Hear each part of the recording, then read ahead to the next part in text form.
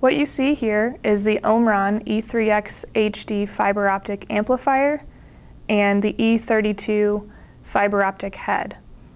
The great thing about fiber optics is that once you learn how to use the fiber optic amplifier, that will work with hundreds of different fiber head options.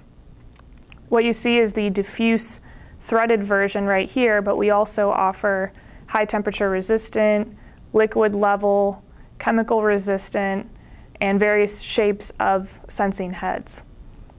Today we're going to talk about the basics of fibers and also about the basic setup for calibration.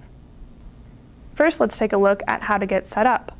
The E3X HD amplifier is DIN rail mountable, so you can see here's where the DIN rail mount option is, and then that's the clip. It actually slides back and forth, so you want to make sure that when you mount it, you're going to put that end down first, push it to the left, and then just pop this end on by pushing straight down. So I'll show you again.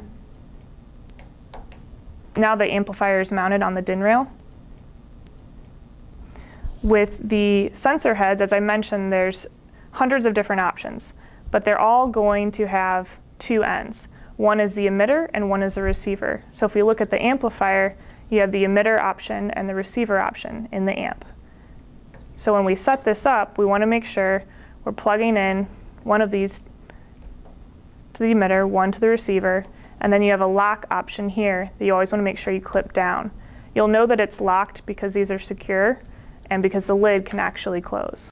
I now have the fiber optic head mounted. You can see there's a clamp up here with it clamped in and the beam spot is down on the table. Keep in mind the fiber amplifier is actually going to hold the emitter and the receiver. So the light is traveling from the amplifier through the fiber optic cable out the head. And then once the light bounces off of the table or your target, it's going to go back up through the fiber optic cable to the amplifier. So really the amp is going to be the brains of the operation.